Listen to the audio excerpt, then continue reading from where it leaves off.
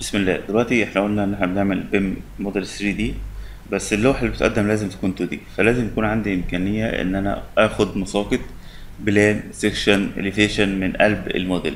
لو الموضوع ده متحققش يبقى أنا مش هعمل BIM. فلو أنا مش قادر آخد section مثلا من هنا ويطلع لي المعلومات مظبوطة أو إن أنا عايز أقول له معلومة من الدور التاني من التالت هات لي ال view دوت ال plan هات لي ال section هات لي القطاع دوت. فده الكلام ده لازم يكون متوفر عشان يبقى موجود بيم في برامج بتعمل 3 دي بس ما بيقدرش يحقق الخاصية ديت فده ما بقاش بيم لأن أنا مش مش مهم عندي الشكل ال 3 دي وإن أنا أقدر ألف حواليه. أنا مهم عندي إن أنا آخد قطاعات بحيث ابدا أحط المعلومات بتاعتي بحيث إن أنا أستخدمها في موقع البناء. لأن أنا لو بعت له حاجة بالشكل دوت مش هيقدر يفهمها لما بعت له 3 دي مش هيقدر يفهمها هو بيستعين باللوح ديت عشان يبقى عارف الارتفاعات والأبعاد والحاجات دي كلها والأرقام الموجودة دي بتفيده وتسهل عليه الشغل.